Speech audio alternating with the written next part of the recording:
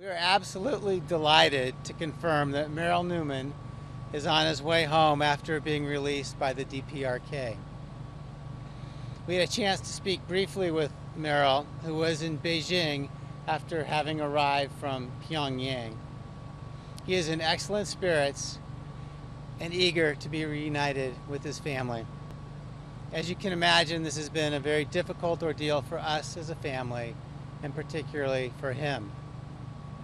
We want to thank everyone who has made this possible and given us the opportunity to have Merrill come home. We also ask that you not forget another American, Kenneth Bae, who is still being held in the DPRK, and we hope that he too will be allowed to rejoin with his family soon.